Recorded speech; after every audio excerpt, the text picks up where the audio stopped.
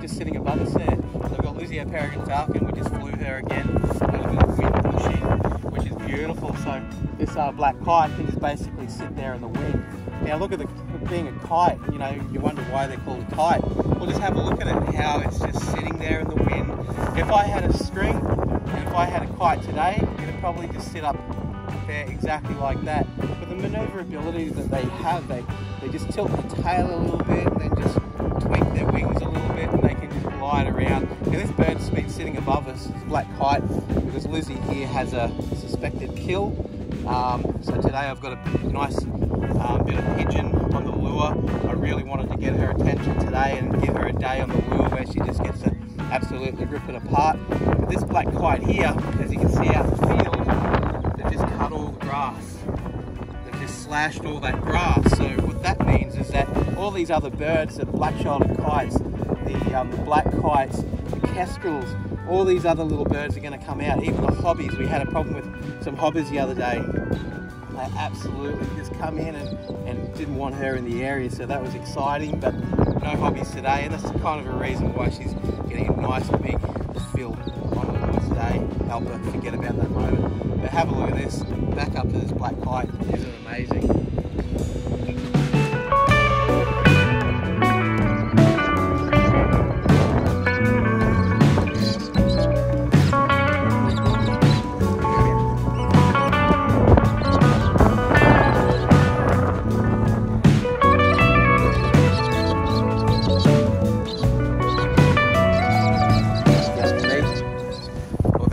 You go, a bunch of galahs. Now, black kite in the area. So the black kite's checking out Lizzy with the food here.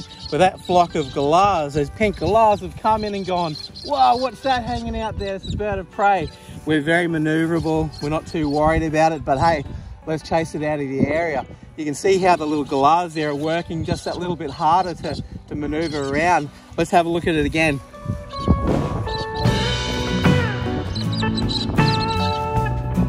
Galahs have a very erratic flight, and that does help in evading um, birds of prey and predators. They can turn, turn on a dime pretty much. Black kite is no threat to them.